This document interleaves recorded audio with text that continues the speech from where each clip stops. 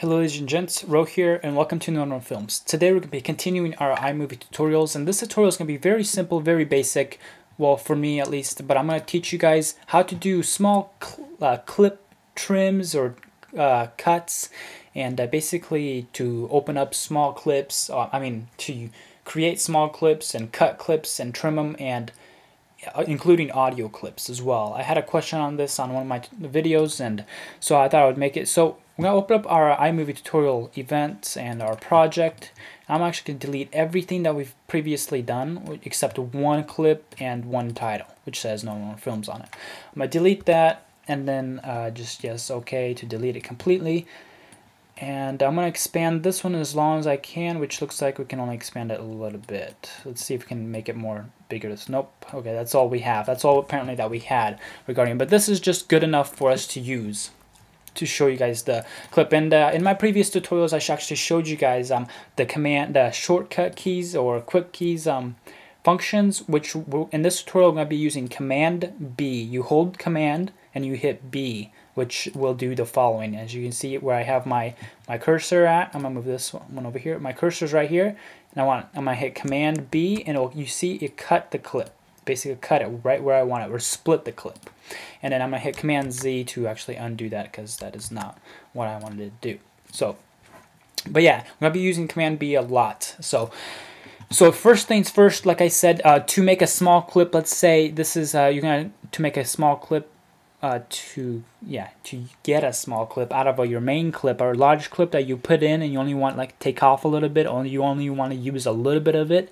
You just basically find where it's at and put your cursor right at that area right before that area and hit command B and it will actually make that that that cut right there and then you can select the other part and hit delete if you don't want it but I'm hit command Z command Z command Z to undo all of those right there. And uh, if you don't know what Command Z, Command Z is basically undo, undo, or you can go up to the top right hand, top left hand code, go to Edit, and go to Undo Move, which is the same thing. But I like quick keys because it makes a lot makes my life easier and it will make your guys' life a lot easier as well. Then also we got the sound effects. So this can be done with sound effects or iTunes with any music song or let's say we go to, let's just go to sound effects. We're going to go not effects, but we're to go to jingles, I believe it is, or let's see what they have. Uh, jingles. Let's go to jingles. These are like 20 second clips, 40 second clips, or let's say you have a clip on your desktop that you want to get. You can just simply drag it and drag it. You'll click on it, drag it, and straight into one of these events. Um,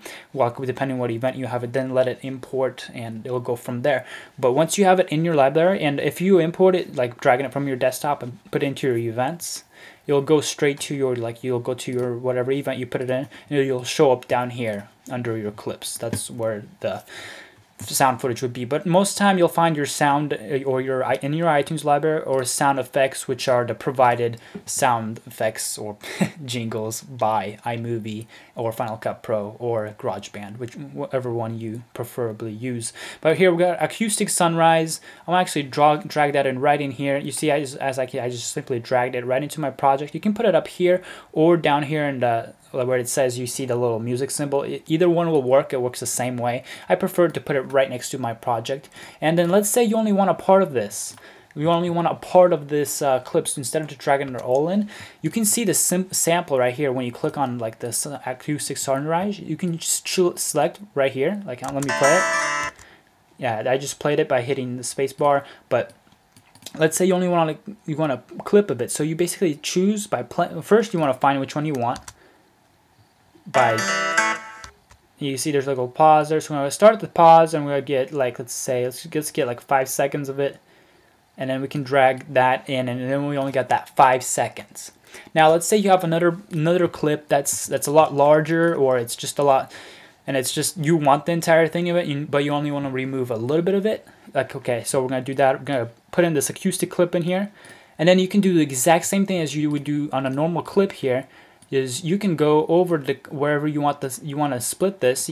So what you're going to do is you're going to select the clip here and then you're going to hit command B again to split it right at where you where you want the clip to be split basically I mean the audio you want to be split. And again you can do this all along down here. Let's say you found a different one. And sometimes honestly sometimes you'll get this error like you see it it's not working for me right now I don't know. I don't know really. I don't really know why the reason would be why it wouldn't let me do it. Sometimes it may be because it's not under a clip itself.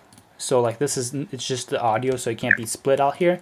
But if it's under a clip, it can be split. So uh, it's really really yeah. You see, it may be just that. But I hope this video helped you guys uh, answer the clip clipping and trimming odds of the part of the iMovie. And let me know if you have any other questions. Catch you guys in the next tutorial, and later. Let my life be the proof, the proof of